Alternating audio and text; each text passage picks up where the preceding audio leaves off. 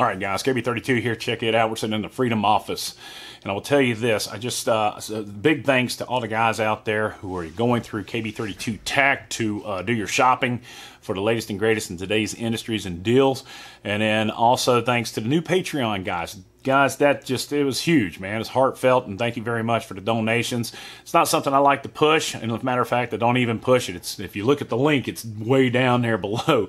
Uh, I would rather earn your business uh, than beg for it. So, with that being said, uh, thank you, thank you, thank you, thank you. All right, so what are we talking about? Well.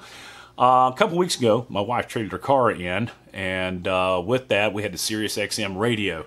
And what I did was I called and had it transferred from her old car to her new car. But what they did was they took it off of my car and transferred it to her new car. So somebody's rolling around out there with some free XM Sirius radio stuff. But the uh, but the the plus side is is that I haven't switched it back or called them to correct it. I will eventually. But the nice thing is is I've been listening to music and not the news.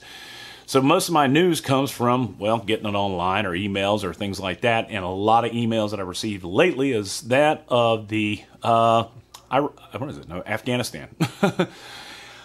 Afghanistan. Could you imagine being Joe Biden right now after he's made this decision to go ahead and announce that we were pulling out to the Taliban? And then going, hey, listen, we need you guys to be peaceful and we'll support you. What a jackass.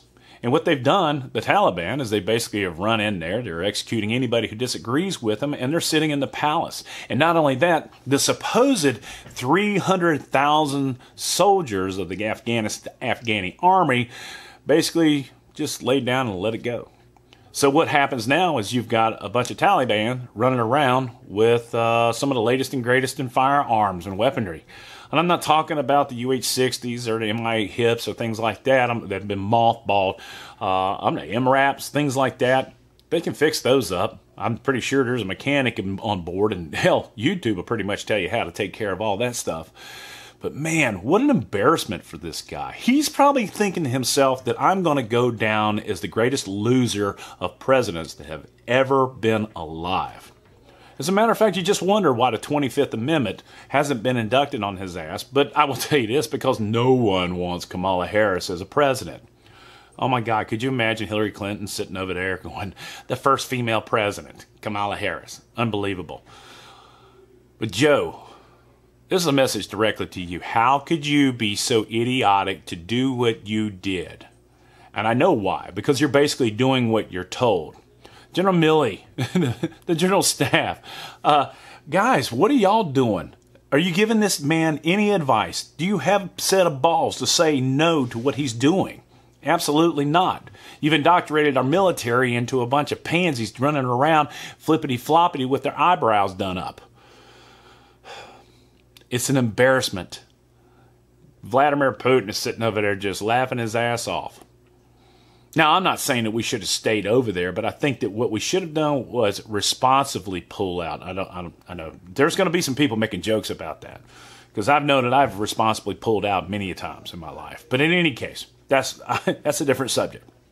But what I'm talking about, guys, is it's heartbreaking to see what has happened uh, the memes that are out there, just the pictures that are out there, these people that who are struggling to carry on or hang on to this airplane. I saw the video, but my wife's told me she saw the video where it was taken off and there were things falling off of it. And those were human beings, people. And the reason they were doing that is that they were desperate to stay alive because they know what's coming. Afghanistan, I'm so sorry what's happened to you. I felt like maybe Joe Biden should, is responsible for what's going on. If you disagree with me, I'm okay with that. I think we're open with dialogue. But to do what we did, to pull out, to just throw the lives, so many people away the way it was done is disgusting. And I'm I'm I'm torn. This is a horrible thing that has happened to our world. And as the United States are we still a leader when it comes to military might and power? You know, I, yeah. Y'all let me know what your thoughts are down below. I've been watching this crap and it's just disgusting. Thank you. Dogs have been fed. So with that being said, guys, let me know what your thoughts are down below. Uh, yeah, we got a cool video coming out. We're going to be doing a 6.5 Creedmoor. We're going to take the, uh, the Justin Fitch rifle out. I've got the Hooper uh, Concepts muzzle brake on that thing. It's going to be badass. We're also going to, and you can see a little pigtail of that one. We got Creedzilla. The uh, guys over there, Ballistic, uh, Callaway Ballistics, are, are developing a 6.5 Creedmoor round, and we're going to take that out and see how well it does through the MPA and Creedzilla, as well as the Justin Fitch rifle. Yeah. I'm sad. KB32, if you like the video, please give it a thumbs up. Subscribe if you haven't already done so. Support the red, white, and blue. God bless America. God bless us men, women in uniform 24 7 for our freedom. Freedom's not free. Unless it's Joe Biden who just gives his shit away. And it's not freedom he's giving away, it's the world and everything else. Look at our fuel prices. Look at our economy. And you know what? He's already blamed Donald Trump for what's happened.